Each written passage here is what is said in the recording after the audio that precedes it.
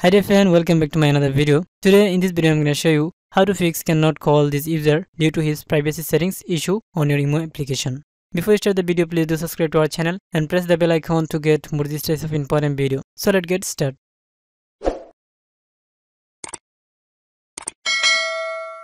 First of all, let me show you the problem. From my Imo application, if I try to call on my other phone, as you can see here the error message says cannot call this user due to his privacy settings. Many people are facing these types of problem, but don't worry, I'm going to explain why this problem is happening.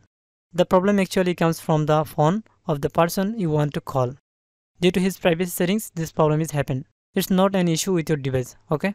There are two solutions for fix this type of problem. First solution is that you have to change this privacy settings from your friend's device. Let me show you the settings.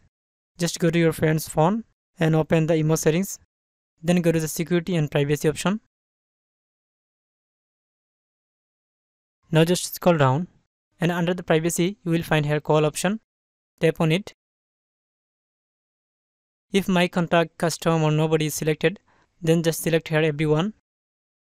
Now the problem should be fixed. Now let me show you.